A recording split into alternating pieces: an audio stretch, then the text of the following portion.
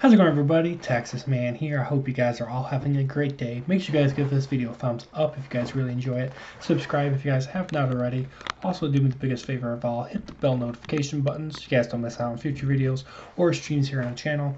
Also if you guys would please head over to Twitch, follow me there at Douglas447. I'm streaming a lot of Halo and Battlefield, Call of Duty and uh, Destiny 2 and of course, if you guys have any movies or shows you guys want me to watch and review here on the channel, please let me know in the comment section down below. Been doing a lot of those recently, and uh, this is a film that I have had absolutely zero interest in watching. It's been something that's on my watch later list uh, on Google Play. I've heard good things about Good Will Hunting, but I just really didn't care about it, and I decided, you know what, it's time to get this one off the watch list watch it, talk about it, and review it for you guys. Uh, if you guys don't know, this movie came out in 1998. It is about two hours and six minutes long, and it is rated R. And the only two negative things that I want to talk about with this movie, really briefly, is that this movie is extremely predictable throughout its entire runtime. This movie is predictable. There's really no shock, twist, or turns and revelations that I didn't see coming. When they do happen, they are emotional, but I did see them coming.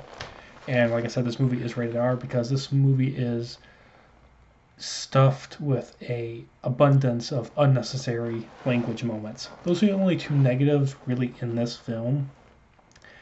And so because of that this film loses a point. But overall, I really had a blast even if you can ignore those two negative things. This film on average is about $3 to rent, $13 to buy, and the film stars Robin Williams, Matt Damon, and Ben Affleck. And this tells the powerful drama story about a person that has a really high intelligence.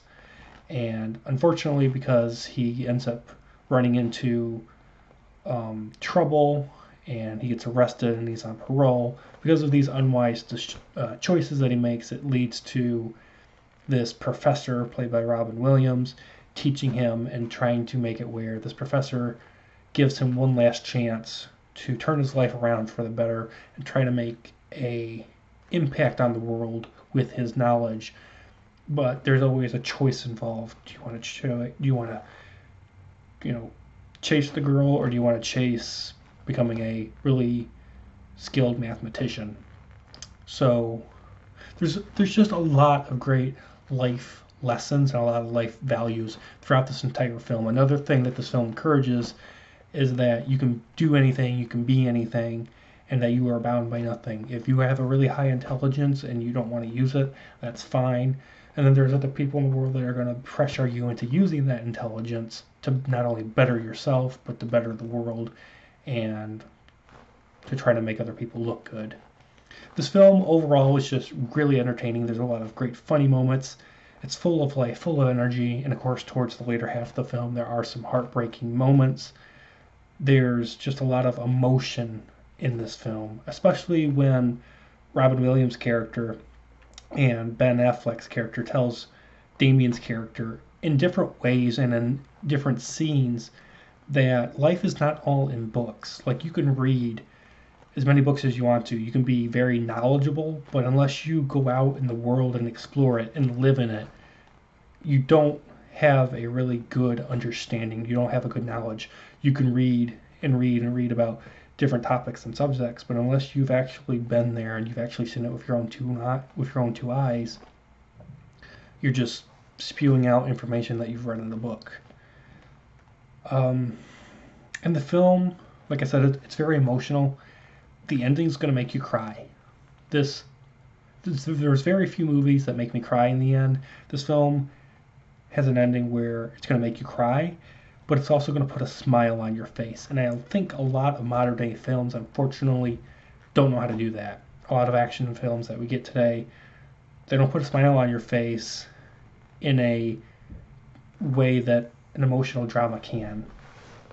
And lastly, the musical score by Danny Elfman, which of course is famous for the Spider-Man soundtrack, does a fantastic job. And I encourage you guys check this film out. Good Will Hunting, even though it is rated R and it does have a couple problems, I think this is a really great watch. And like I said, I had no interest in watching this film. And yeah, it is a slow burner. It is a drama. It's not a Marvel Cinematic Universe type of action film this is a very basic film. It's a very grounded film. Though it is predictable and it has language in it, I encourage you guys to check this movie out at least once. Watch this movie at least once. It is definitely worth three dollars just to rent it to spend two hours and watch it with your friends and family. Of course, this isn't going to be great for younger audiences because of the language, but I really enjoyed Good Will Hunting more than I really thought I was going to. I was blown away by this movie. I've seen it, the ending, like the last five minutes of it, from time to time on cable TV, but this is the first time me ever watching it from start to finish, ever, and I really had a blast. Hope you guys check it out. Good Will Hunting from 1998. I'm giving it a 9 out of 10. Thank you guys so much for watching. You guys all have a great day. And I'll see you guys in the next video or stream. Bye, guys.